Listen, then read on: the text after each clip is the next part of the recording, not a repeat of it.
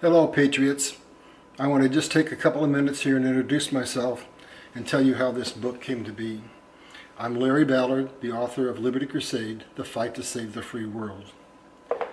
The genesis of this book occurred way back in 1968 when I had a motorcycle accident that resulted in what's known as a near-death experience.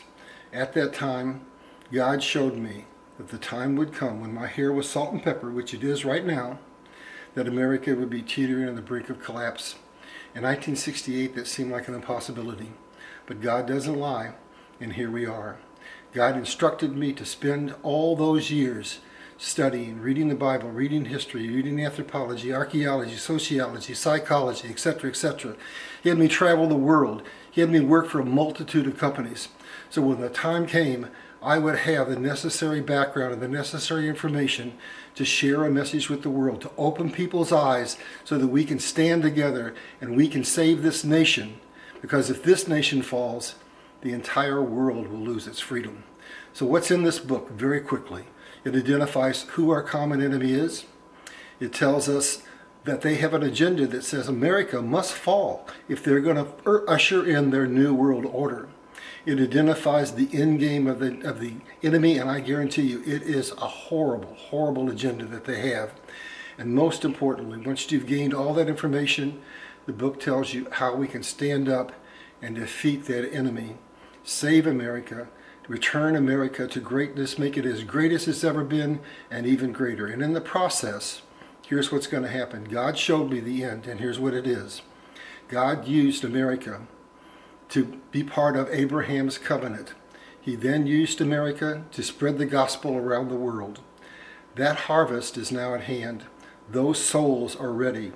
And he is going to use America to harvest those souls. America is going to usher in the greatest revival the world has ever seen. America is not going to fall. America is going to rise. America is going to be as great as it ever was or even greater. Now, what's in this book? Nothing in, enters into this book unless it's part of an agenda that exposes who our enemy is. Basically, what it's, what it's about is this historical account, a chronological account of everything that they've done to us so that you can see the depths of what they've done and how heinous it is. Nothing enters into this book unless it in some way threatens our sovereignty as a nation, unless it divides us, unless it threatens our Constitution and our freedom, unless it drives us into debt, or in other words, if it doesn't in some way insidiously harm America, it has no place in this book. This book is to wake people up, to open their eyes so that we are empowered to stand and fight and save our nation. And in the process, we're going to go through some hard times right now. But I can guarantee you, God showed me what the end is.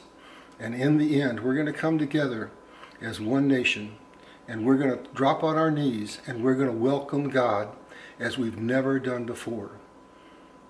The bottom line is this is good news, not bad news.